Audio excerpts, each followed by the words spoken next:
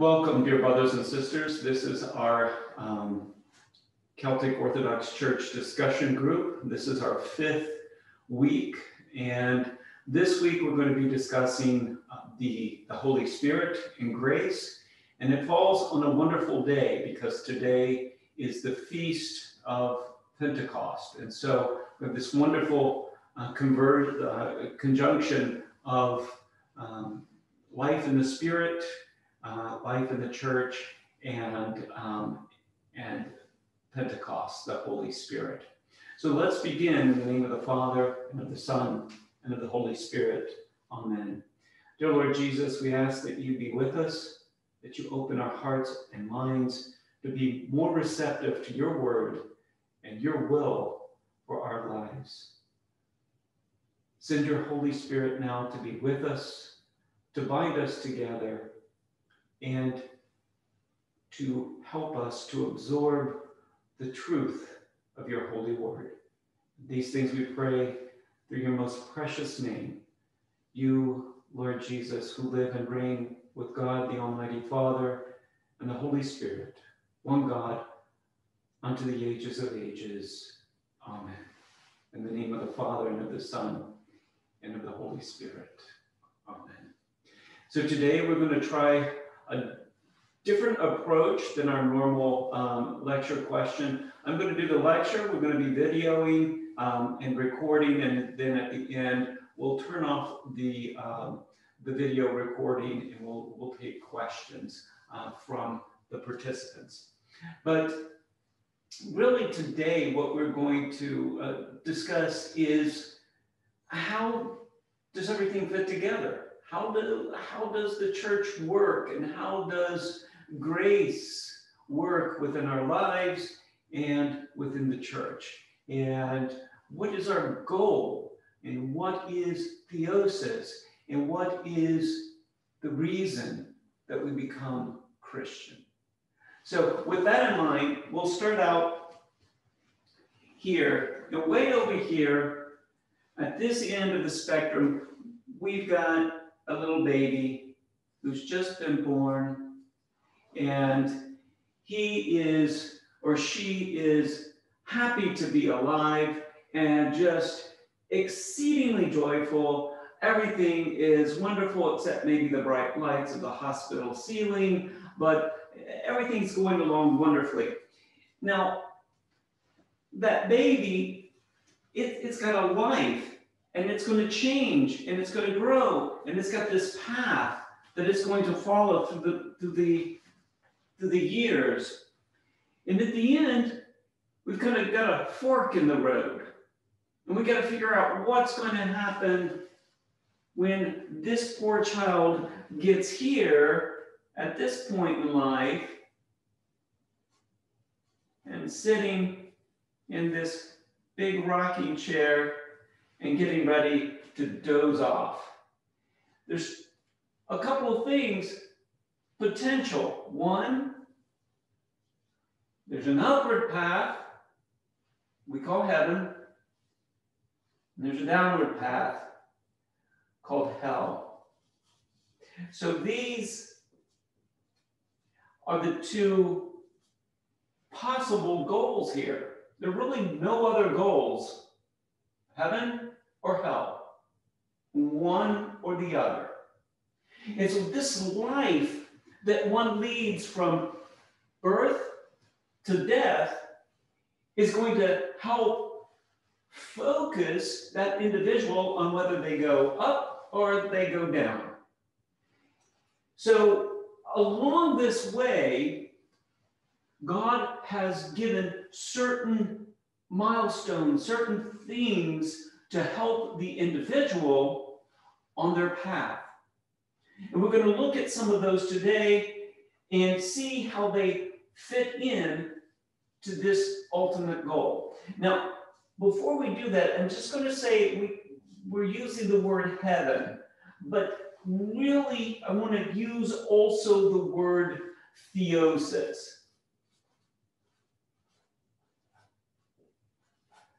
And you've heard this term a number of times, but theosis is our unity with God. That's what heaven is all about. Being unified, being becoming one with our maker. Now, I see that this is kind of small on my screen. Hopefully you've got it bigger on yours so you can blow it up to see it. Um, but I'm going to try to write just a little bit bigger. Um, so hopefully we'll be able to see better. So let's start right here. We're going to start with birth.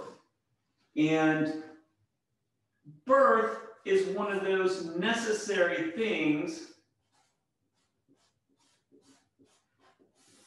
that we all must experience. That's the starting point. Birth is our bodies coming into the world, coming into existence. It is the material emergence of our physical bodies. Now, the thing about birth is that we have been formed prior to birth that our bodies were growing and building themselves within our mothers, within a sac of water. And there's a connection here between the water and the material and the birth that happens. And we'll see this played out as we continue to talk. The birth is the material emergence of our bodies. But what happens after birth? Well, what's the first thing that the doctor wants done? He wants the baby to take a breath. It's extremely important. The very next step, the next, before they do anything else, they try to clear the lungs of any residual fluid and get the baby to breathe. the baby doesn't breathe, that's not good. So breath is a next essential element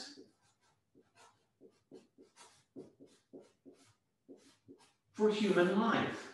We must breathe. Without breath, we would, we would die. There's a three by three by three rule. Can't go more than three minutes without breath more than three days without water, or more than three weeks without food, generally speaking. So, breath is exceedingly important for human life. But once the baby is born and breathing, then what comes next? What's the next logical step? Yeah, they'll probably get the baby cleaned up, wrap it up in some uh, nice, snuggly clothes. But pretty much the very next thing that happens is they want the baby to eat, to take nourishment from mom, normally speaking. But this is the next step that we all depend upon nourishment. We must eat.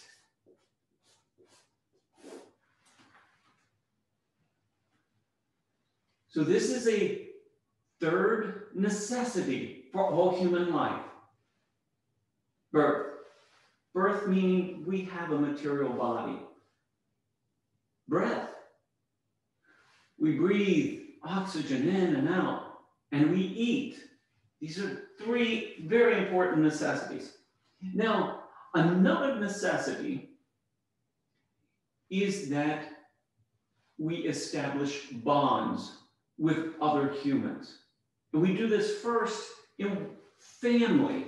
It's what's next in the order here is that we start making bonds with our family. We start building these interpersonal connections, which prepare us to later make connections in the larger community. This is extremely, extremely important. None of us can live without human connection. It is impossible. And someone might raise their hand and say, hey, what about the hermits? They live all by themselves. And, and well, if you think about it, even hermits started their life within the context of family, within the context of community. Community is vitally important to us. We are so connected and interdependent. Think of it in terms of how you live. I didn't make this. I, I don't have the ability to make my own clothes. I have to rely on someone else to do that for me. I can't make my own shoes or my own automobile. Most of us don't even grow our own food. We're interconnected. We depend on farmers and grocers and tailors and all of these different functions in our community to help us live. Community is vitally important to the human experience. But we also know that in our human experience, community needs some order. It needs some way to monitor and govern those who might take advantage of others. And we call this government. I'm just going to um, abbreviate here GOVT, but government. We need government. We need order, structure to our society. And we see this all the way back through the history of man. Another thing that the human race needs is propagation of the species. So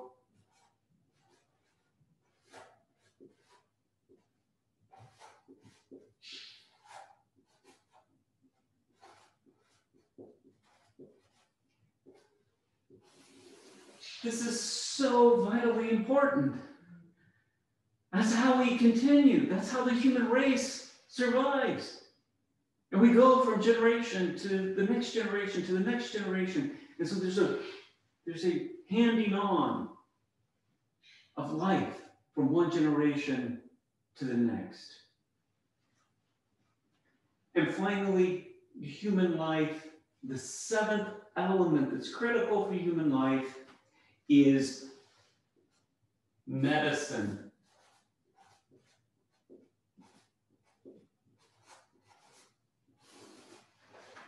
We are all subject to certain illnesses. Our, we're not we're not made of steel. We we cut ourselves, we bruise ourselves, we fall. All of these things happen, and we need medicine that treats and helps our bodies to heal. These are seven very, very, very critical and fundamental aspects of our life on earth as humans. Now, we know that we have a life here on earth. And we kind of see that at the beginning. We live this life, but we also know that we have this endpoint, this goal where we will experience a new type of life in the afterworld, in heaven, in theosis. And so, if we look, I believe we will start to see a picture emerge of a vital connection between our human life on earth and a spiritual life that we begin to develop as we begin to follow Christ. and to receive into our lives the Holy Spirit. Now, when we talk about beginning to follow Christ, and what that means, and receiving the Holy Spirit, we, we begin to think about our conversion, being led to a point where we say, Yes, Lord Jesus, I believe that you are the Messiah sent into the world, that you are the Son of God.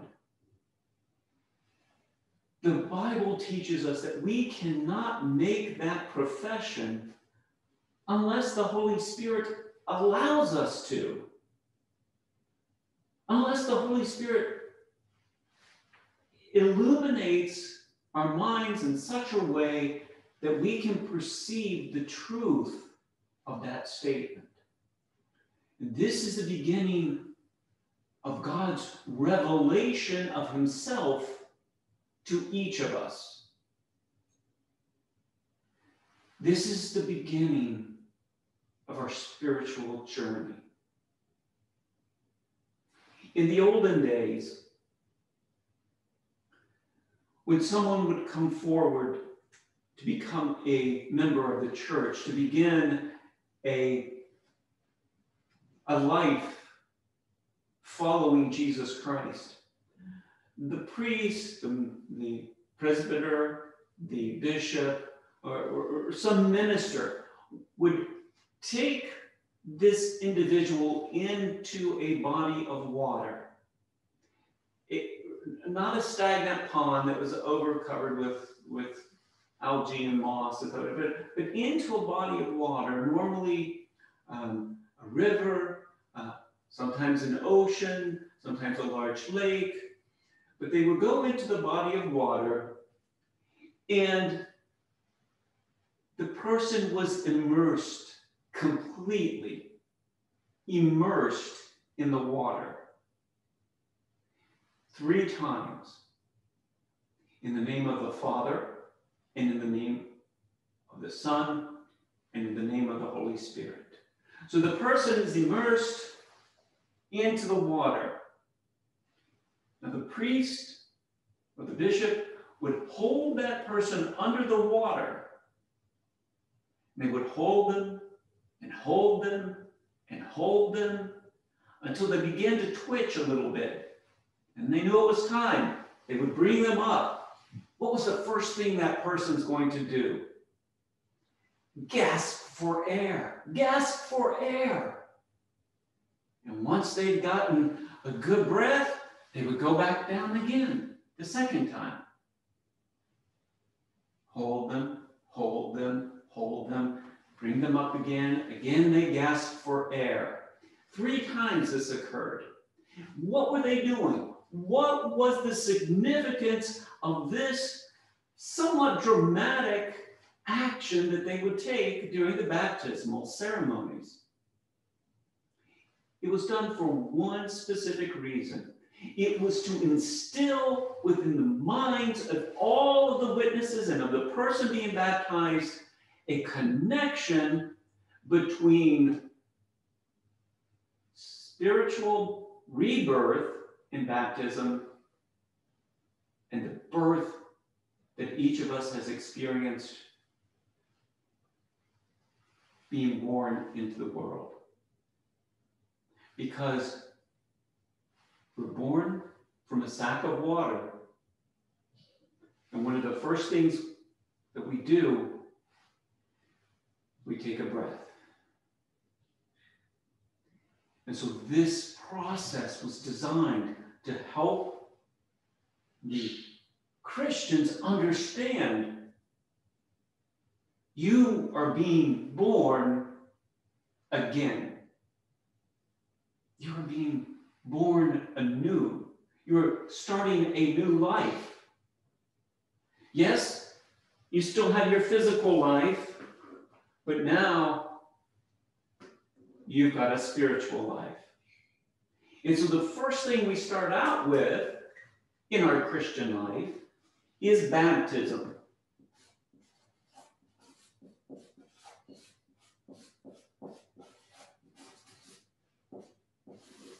And of course, this, we're, we're baptized in the water, we're brought up out of the water. We see the connection, we see the distinct connection with our material birth. We're being born a second time. Now, baptism, we know, is indeed a plunging into death, being buried with Christ, and rising again to new life. This is important because we participate spiritually in Christ's death and in his resurrection. Remember, water not only is life giving, and in fact, if we look at the world, 70% water, our bodies, roughly 70% water. We know that at the creation, God's Spirit moved on the face of the water. When we look at water, the molecule even has a certain reflection of the Trinity. H2O, two hydrogens and one oxygen. It takes on three forms. A solid when it's ice, liquid, and gas. So water, we can perceive clearly has a connection with the Trinity. It has a special connection. And so we're born of water from our mother's womb. We're born again of water through baptism. This is one of the essential parts of our spiritual journey. Second, if you look at the word breath, and we look at that word as used in Greek, Hebrew, Aramaic, that word has a double sense. Pneuma in Greek Ruha in Hebrew, and Rotka in Aramaic, I believe, and my pronunciations are probably horrible. If anyone out there is listening and they know any of these languages, forgive me. But those are essentially the, the three words. Those three words have two meanings. They mean breath, and they also mean spirit. And this is interesting concept was the breath of man is his spirit, his life. And when his breath is gone, his life is gone. So there was a great connection in the ancient world between breath, spirit, life. We see this also in our understanding here of chrismation.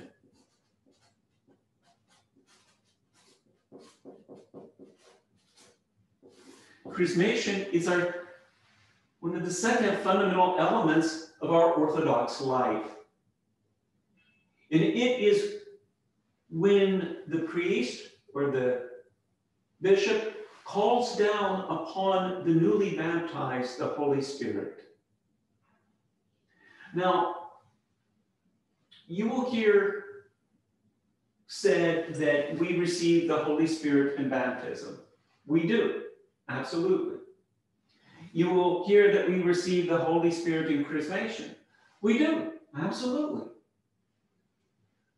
But how do we how do we perceive because we're going to see that there's a lot of times when we receive the Holy Spirit, not just these two times. How, how is it that we keep receiving the Holy Spirit over and over again? And are they different? And, and how? Well, yes, there are different gifts, different aspects of the Holy Spirit that are communicated to us. Perhaps we can look at baptism as being a communication of the Holy Spirit that empowers us to begin a life of personal sanctification, changing our lives, becoming more and more like Christ, being obedient unto his word, and doing what he would have us do. In chrismation, however, if we can compare it to Pentecost, we see that the disciples and apostles, they received the Holy Spirit, but they were given different gifts that had to do with proclaiming Christ as the Messiah and teaching and increasing the flock, witnessing to the truth of Christianity. It was a spirit that emboldened them. Look at what had occurred. After Jesus' death, they were locked up. They had the doors locked. They were afraid of the Jewish people. They didn't want them to come in. They wanted to keep them out. They were afraid. But what happens at Pentecost? They're no longer afraid. They are boldly proclaiming the word, the gospel, the truth. And we see many times the Holy Spirit in Scripture is referred to as the Spirit of truth. This is our voice. This is our voice. Yes, we have the Holy Spirit at baptism. We begin a life of personal sanctification, seeking holiness through the precepts taught by Jesus Christ. But in chrismation, we're given a voice. We're given a voice to speak, to witness.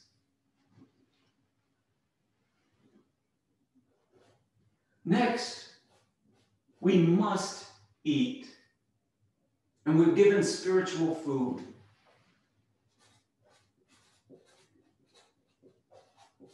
Eucharist is our spiritual food. It is the very body and blood of Christ. We believe that the Eucharist is indeed not only bread and wine, but also the body and blood of Christ. Remember, Christ had two natures. He was fully human, he had a human body, a human will, a human soul, he, and a human spirit, but he was also fully divine. He was one with the Father. He had two natures. His body and blood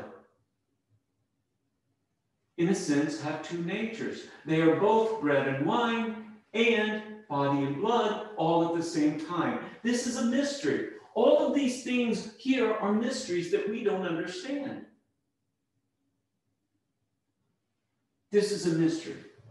Now, if you think back to the time when Jesus was celebrating that Last Supper with his apostles, they, they were supposedly celebrating Passover. Now, what was missing? Well, Passover, that was the time when the Jews, the Jewish priest would sacrifice all of the lambs. But remember, once a sacrifice is made, that sacrifice must be offered up to the Father. You can't just make the sacrifice and leave it on the altar. And we see this reflected in the temple practices that the animal is sacrificed. And the sacrifice is made by draining the blood, separating the blood from the animal, separating the body and the blood. And then the animal is offered up to God. And usually it was done by fire. And for this reason, they kept a fire burning on the temple on the top 24 hours a day, seven days a week. They, they had a priest specifically assigned to that duty. Of course, they rotated through the day, but they kept that fire going. When the sacrifice was done, it was offered up. On special occasions, the, the priest or even the, lay, the, the, the people of the, the faith, the Jewish people, were allowed to consume the sacrifice. And Passover was one of these very special occasions when everybody got to participate in the royal priesthood. They were allowed to consume the sacrifice. So the sacrifice had to be consumed in one of two ways? Fire or consumed by eating. So on this particular Passover, Christ is gathered with his disciples, his apostles, and they're celebrating Passover, but where is the Passover lamb? It's not mentioned in Scripture. What is mentioned is the body and blood of Christ. And he's told them already look in St. John chapter 6, read St. John chapter 6, read it twice, read it slowly, meditate on it. That's where he tells them, My body is true food and my blood is true drink. And unless you eat of my body and drink of my blood, you have no part in me. So, this is critical. Our Eucharist, it is not only our spiritual food, but it is also the sacrifice that we offer to God the Father. Why? Why do we offer sacrifice? We offer sacrifice in thanksgiving because we've been redeemed.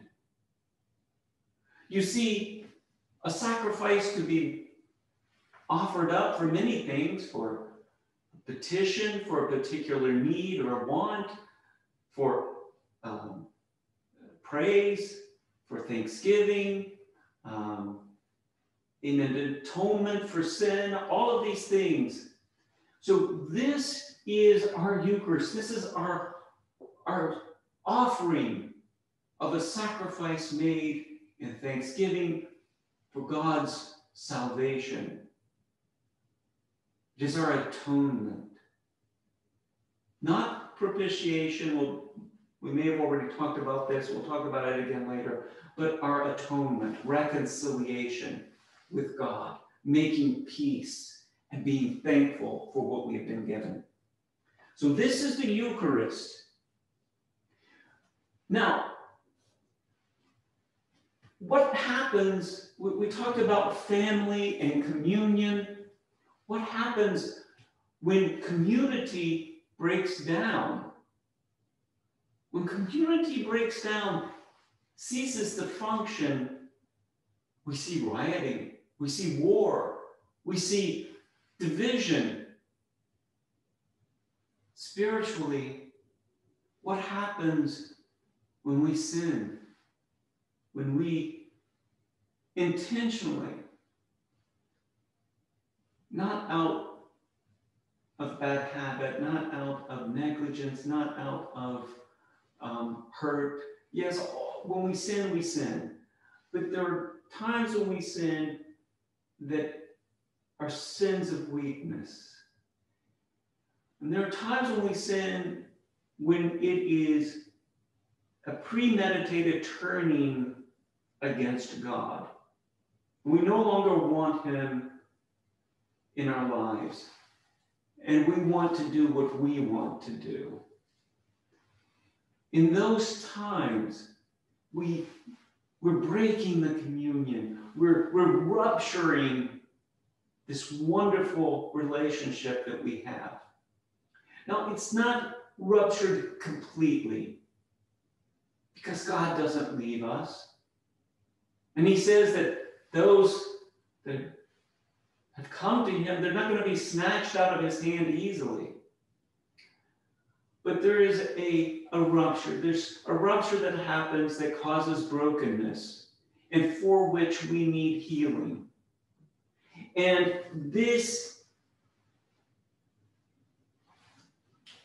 sacrament called confession it restores community. It restores our life of grace. It brings us back into wholeness as God intended. Scripture says, confess your sins one to another that you may be healed. It is for our healing, for our continued forgiveness. And if you're not in a practice of doing so, confession, I urge everyone, confession once a month. Once a month. If if you are if you are already chrismated, baptized, chrismated, you should be seeking confession once a month. At least that's that's a minimum. Um, but technically, we, we can't all do that. We don't we don't have that possibility. But we can speak offline about other options that are available um, that we can we can work with each of you so that we can get confession to you if you desire it. Now, part of this this um, th this path that we're following, if we're baptized, we're chrismated, we're, we're receiving um, the Eucharist, we're living in community both with God and with our fellow Christians, then we're part of church. And church is the society of believers. And just like the society of the human family, the society, the society of believers requires some form of government. And we call this holy orders.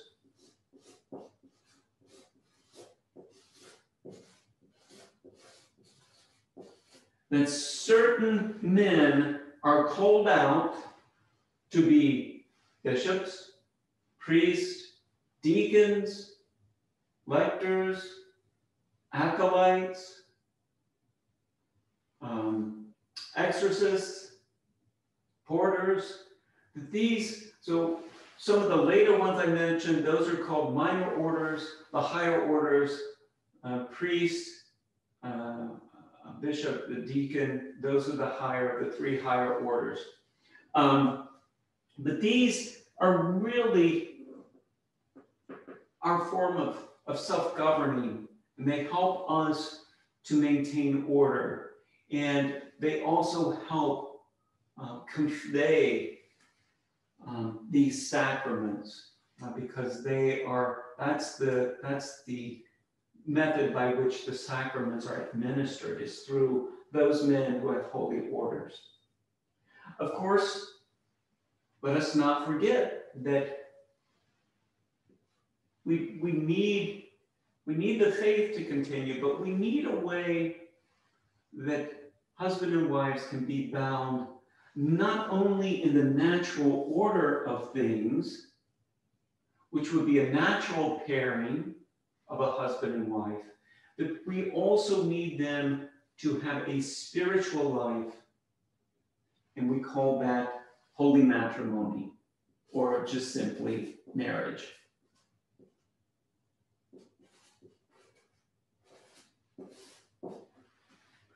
And so the two come together, they become as one. Christ says, Let what God has joined to, uh, together, let no man take apart. But these, this is the binding of two lives together. And then purpose is for procreation. That is the purpose for which marriage exists. But in marriage, you have three people. You have the husband, you have the wife, and you have the Holy Spirit. And you have a unity. And from this unity, the love of husband and wife is open to conception and to birth. And this is how we recognize the, the need for the propagation of the species, but in a way that believers, two baptized people, come together in a special sacramental way.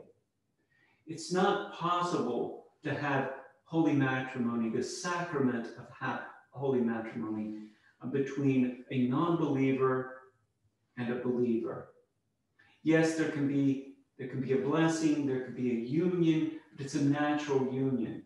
But once you have two believers who join together, this is a higher level of union, a higher level of the sacrament that binds the two together. And then, of course, we need we need medicine. We need healing. And that is the sacrament of anointing. Um, I'm just going to call it sacred oil. We have many um, incidents of, of this anointing taking place and the laying on of hands for healing in the New Testament. We see that, that our spirits, once they are healed and they come into right relationship with God, that the healing flows also to our material bodies. And we begin to see that in the same way that marriage, there's a great connection between the spiritual and the physical. Here, also, there's a great connection between the spiritual and the physical. And the church believes that those who receive the sacrament of the sacred oil, the sacrament of anointing, they are one, forgiven of all their sins, and two, we believe that there is new life that's given to them physically as well, and that if it's God's will, their bodies will recover from whatever ailment has taken them. So this, the sacred oil, the, the, the, the anointing of the sick, this should not be reserved for the last moments of life. This should be open to anyone, anyone who's having a surgery, anyone who's having um, a, a, particular illness, uh, anyone. It should be open, it should be available. And it is highly encouraged anytime. And even for, um, you know, for those who might have uh, people in their families who suffer from mental illness, this is a sacrament that can, that can bring much healing even in the area of mental illness, uh, illness as well. So this is this is our connection here between our spiritual life and our physical life. We can see these correlations, these lines drawn between the two very clearly. God's purpose and plan and outline. Now, the, the church, the Orthodox Church teaches that these are the primary seven sacraments. And the sacrament is a means by which God's grace flows to the individual. It's It's a means of transmission of God's grace. Now, the Orthodox Church sees God's grace as being uncreated. That this is, this is actually through this, these sacraments, God is transmitting Himself, communicating Himself to us. And of course, grace helps us to live in communion with God, to resist sin and temptation, and to take on holiness and righteousness. But not by our own work, but by the work that God is doing within us. And in each one of these, we see the operation of the Holy Spirit. Holy Spirit of God working within our lives. These, my brothers and sisters, these are the stepping stones along this path of life that we must follow in order to make it to our goal of theosis. Now, the Orthodox Church also sees other things may be sacraments. Some might call them sacramentals, that they also communicate in some way God's grace. But we see these as the primary seven. And we're reminded of the verse in Scripture which says, Wisdom has built her house on seven columns. And we believe that these are the seven columns upon which our church is built. These are the seven principal sacraments that guide us and help us being formed into our new life in the Spirit.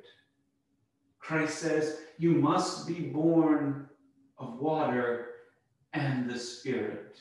We must be born anew in the Spirit of God. And isn't this exactly what Pentecost is all about? A celebration of God's most amazing gift of the Holy Spirit to all his children.